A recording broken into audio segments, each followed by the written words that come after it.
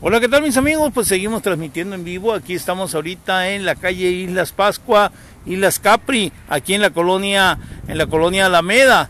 Eh, para darle los pormenores, hallaron 11 casquillos percutidos, 11 casquillos percutidos de, pues, de, como parte, como consecuencia de la persecución de que fue víctima Ernesto, Ernesto, ¿verdad? De 35 años de edad, quien fue privado de la vida poco antes de las 2 de la tarde aquí en la colonia Alameda. Ahí están los elementos de servicios periciales trabajando, ¿verdad? Están chambeando aquí. Aquí vemos 11 casquillos percutidos en las calles, en un parquecito que está aquí a la redonda, ¿eh? Aquí en la calle Islas, Islas Capri, Islas Pascua, aquí en la colonia Alameda, eh, eh, poco antes de que cayera sin vida, pues Ernesto, Ernesto es la persona que fue asesinado aquí en la colonia Alameda, poco antes de las 2 de la tarde, así que pues así la situación, este, nosotros seguimos transmitiendo en vivo para todos ustedes, así que hay que seguir en noticias en Ciudad Obregón, que es eh, Medios Opson, no se les olvide, es Medios Opson, Medios Opson, no se les olvide,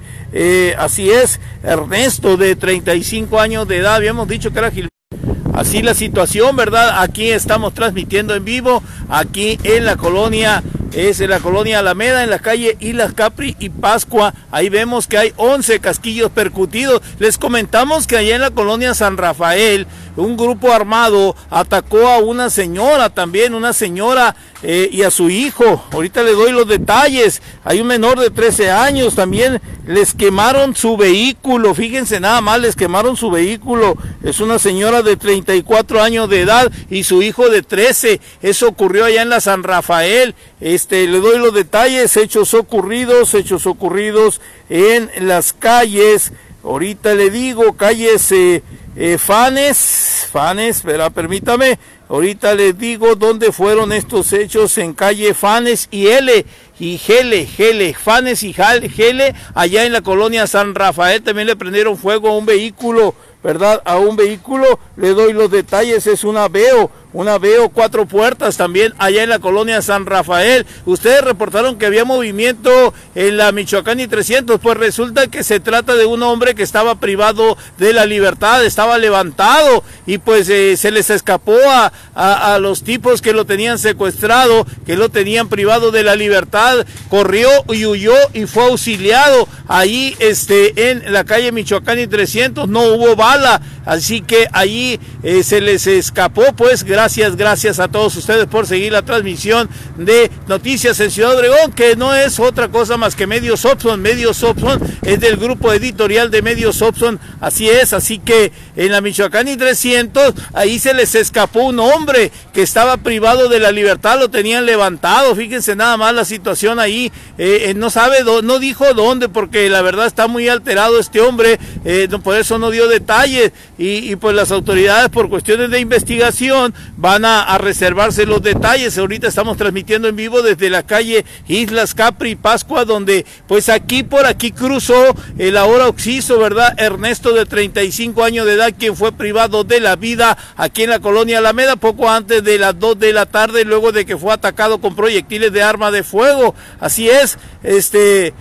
Eh, sí, efectivamente, Jesús Leiva Cortés, hubo, hubo allí, hubo gente que se fue siguiendo a la persona que tenían levantada, la tenían privada de la libertad en un domicilio, parece ser que en la colonia Cortinas, eso fue lo que sucedió, parece ser que por ahí por la calle José María Iglesias, por ahí lo tenían levantado a esta persona y eso fue lo que este, provocó la movilización de las autoridades, mientras que en la colonia San Rafael, un grupo armado, pues con ráfagas de cuerno de chivo, y con pistolas calibre 40 eh, rafaguearon un domicilio, lesionaron a una mujer de 34 años y a su hijo de 13. El menor tiene un impacto de bala en el cuello, fíjense nada más, ya están recibiendo atención hospitalaria. Esto ocurrió casi al mismo tiempo que se dio el ataque aquí en la colonia Alameda. Así la situación para que les estamos dando los detalles, los pormenores de lo que sucedió en menos de 15, 20 minutos de manera simultánea, tanto aquí en la colonia Alameda como allá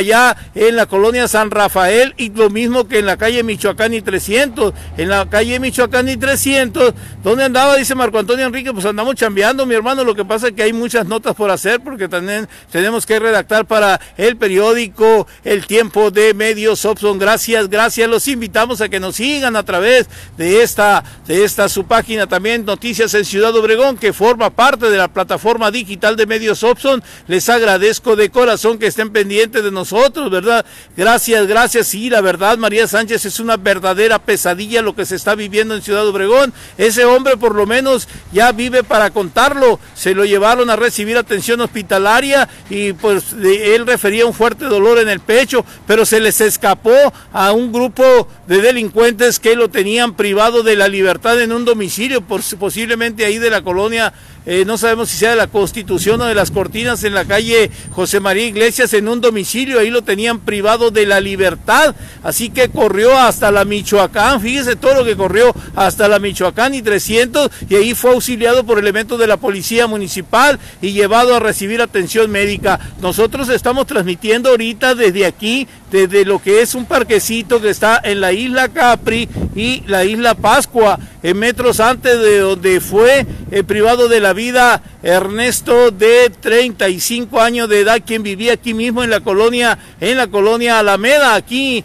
este, muy al sur, al norte de la colonia Villa Bonita. También les compartimos, también para que estén bien enterados, ¿verdad? Eh, pues sí, sí, Jesús Leiva, sí hubo reportes, sí hubo, insistimos, ¿verdad? Eh, que hubo reporte de, de que eh, allí en la Michoacán y 300, ahí un hombre llegó corriendo, pero, pero la verdad desesperado pidiendo ayuda después de que escapó del refugio, del lugar donde estaba privado, donde lo tenían privado de la libertad. Estaba levantado este hombre, obviamente que no creo que le que lo tenía nada más por gusto, así que la situación grave, grave, lo que está sucediendo en Cajeme, ya debe de estar ahí, este, gracias, gracias, este, a todos ustedes, ya debe de estar proporcionando información respecto a la identidad de los tipos que lo levantaron, que lo privaron de la libertad, ya, ya está interviniendo ahí la Guardia Nacional, y ténganlo por seguro que va a haber reacciones sobre esta acción, allá en la colonia San Rafael, Vamos a repetir los datos. Hay una madre,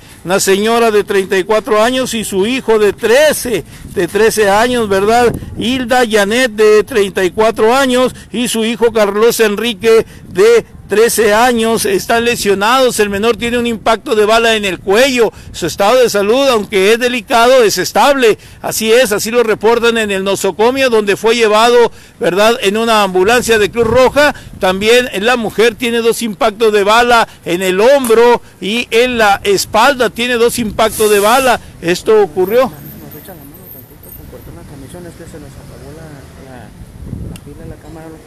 Sí. Sí, no, no, también. O sea, nosotros ya seguimos pues transmitiendo en vivo. Sí. Eh, seguimos transmitiendo en vivo, así la situación, ¿verdad? Buenas tardes, muy buenas tardes, Elvis, eh, Elvia Guzmán Arellano, nosotros estamos transmitiendo en vivo, ya este, pues aquí en este parque quedaron dispersos 11 casquillos percutidos, ya nos vamos, eso fue lo que sucedió allá en la Michoacán y 300 para que ustedes tengan pleno conocimiento, ¿verdad?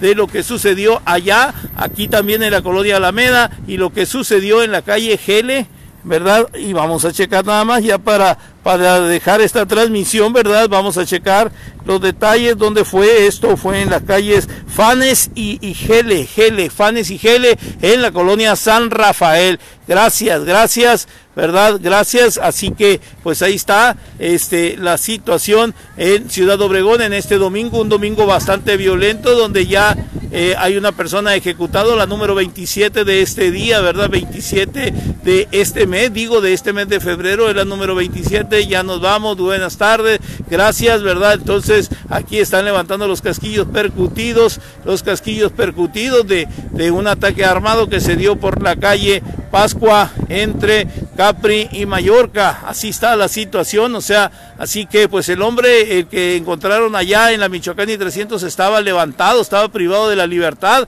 Así es, eh, sí, eh, nombre de hubo heridos en donde, tú dime Adalberto y yo te respondo con gusto. Eh, allá hubo dos heridos en la, en la San Rafael, en la Gele ¿verdad? Y que hubo dos madre e hijo, un niño de 13 años en un balazo en el cuello y la señora tiene dos impactos de bala, están recibiendo atención médica en unos socomios de la localidad. Gracias, gracias, gracias. También eh, un hombre pues escapó de sus, de sus eh, plagiarios de, dos, de, los, de, dos, de un grupo de grupo armado que lo tenía privado de la libertad en un domicilio, parece ser que en la José María Iglesias, algo así se dice, pues ya las autoridades de la Guardia Nacional están trabajando al respecto y ya andan tras ellos bien. Pues esa es la información. Carla Rosas, pues estamos transmitiendo aquí desde el parque por donde pasó, donde cruzó este, la persona que perdió la vida, no, que perdió la vida, que es Ernesto de 35 años de edad, que fue asesinado, ¿verdad? Aquí en la colonia Alameda. Gracias por su atención, ya nos vamos.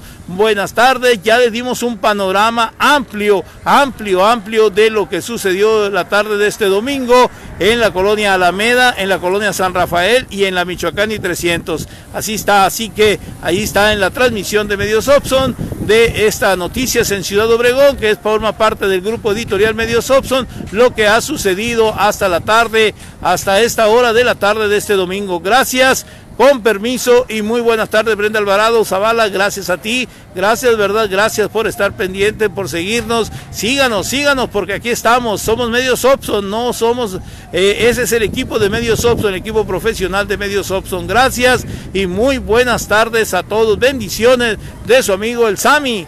Gracias.